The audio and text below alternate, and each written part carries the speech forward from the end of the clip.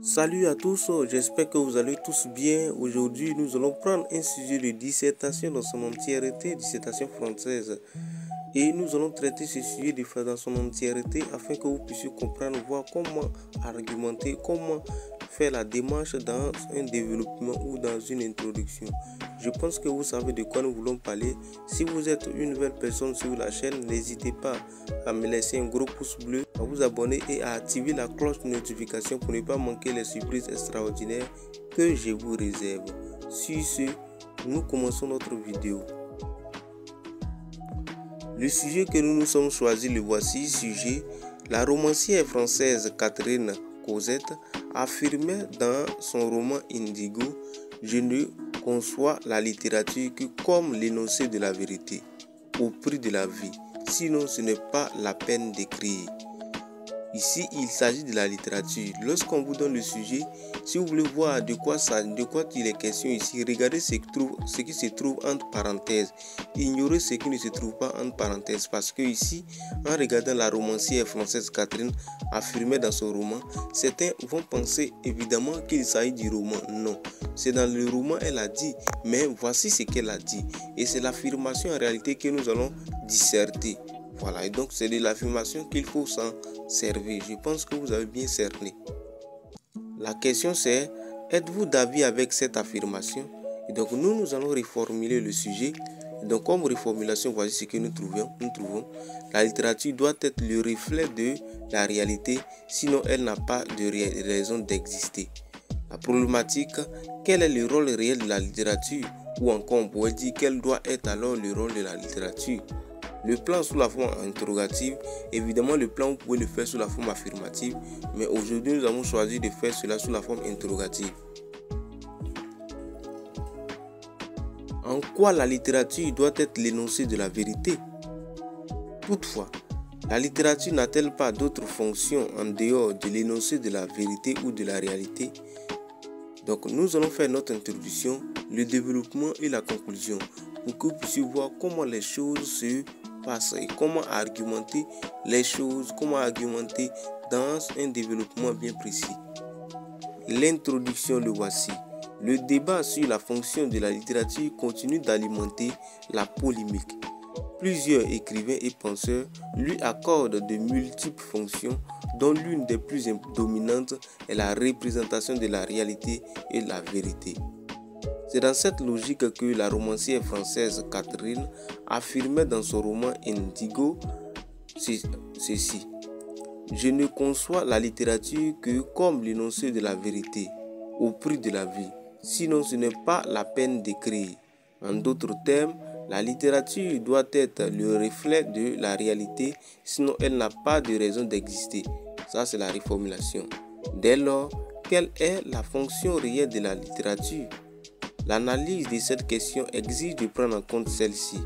En quoi la littérature doit être l'énoncé de la vérité?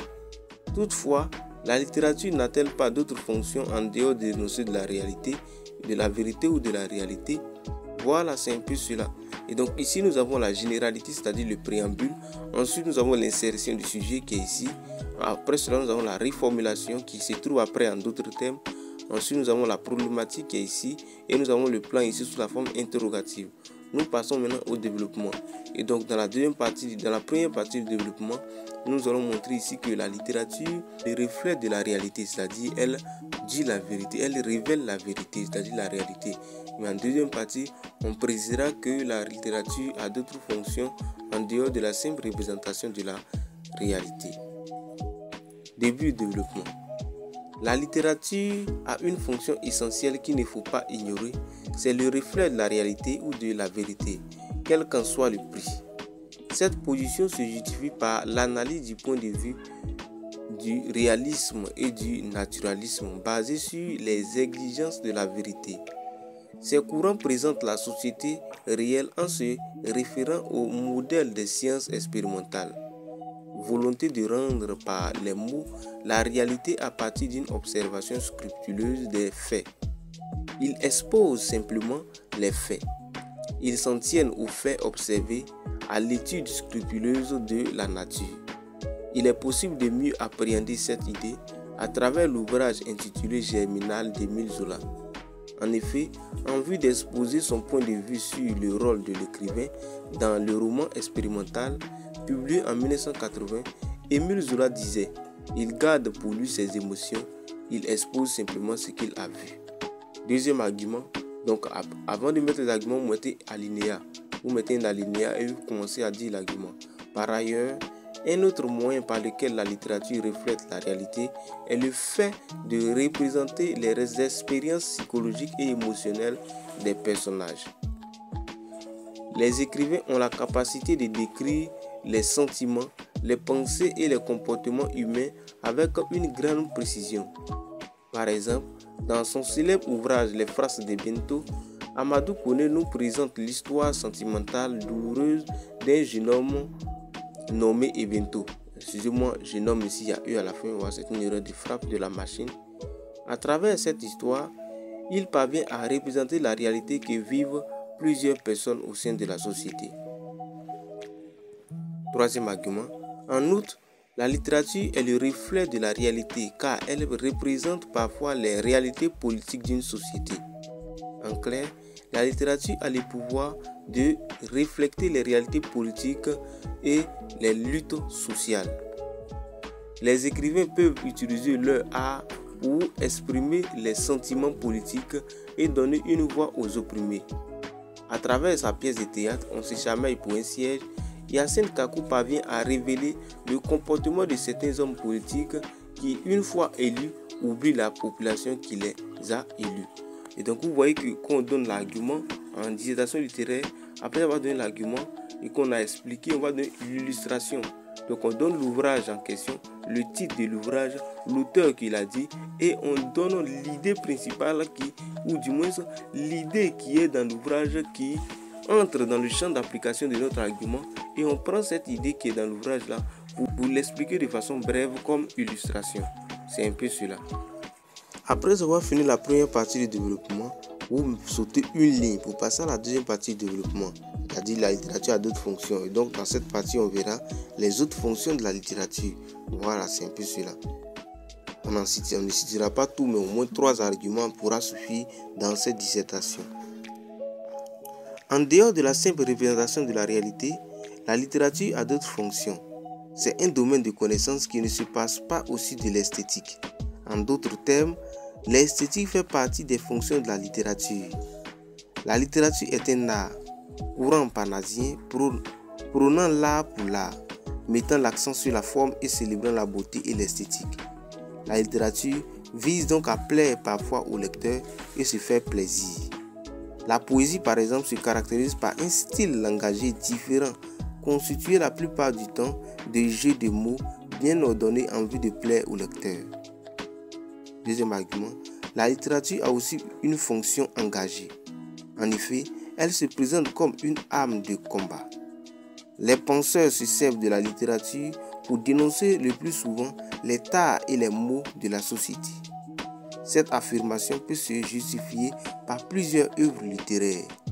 Nous en avons pour preuve le cas d'excision qui est mis à nu dans Rebelle, œuvre romanesque de Fatou Keita. L'écrivain décrit ici les souffrances causées par les mutilations génitales. En effet, cette pratique provoque des conséquences dramatiques telles que la stérilité. C'est le cas de Salimata, l'épouse de Fama, devenue stérile à la suite de cette intervention dans les soleils des indépendances d'Amadou Kourouma. Troisième argument, la littérature a également une fonction évasive. Elle plonge le lecteur dans un monde imaginaire où l'irréel devient réel et le faux devient vrai. Ce qui détend le lecteur et nourrit son imagination. L'exemple le plus remarquable est la planète des singes de Pierre Boulle. En effet, une planète dans laquelle les singes ont à leur service des hommes ne saurait exister. Mais le but de l'auteur ici est de nous évader, nourrir notre imagination et nous transporter dans ce monde-là. Au total, la littérature a des fonctions multiples. En conclusion, c'est le bilan plus l'ouverture. Au terme de notre analyse, nous retenons que la littérature représente certes la réalité, mais sa fonction est multiple et va au-delà de la simple représentation de la réalité. La littérature, la littérature vise aussi l'esthétique, le combat et l'évasion du lecteur. Au regard de ses rôles multiples, la littérature est-elle indispensable pour une société meilleure Voilà, ça c'est l'ouverture que nous avons fait. Et donc je reviens encore pour expliquer. Après l'introduction, vous sautez deux lignes pour commencer le développement.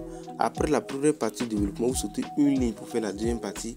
Et après, la et après le développement dans son entièreté, vous sautez deux lignes pour faire la conclusion. Et donc dans le développement, lorsque vous donnez des arguments et que vous expliquez, vous, l'illustrez avec les ouvrages littéraires.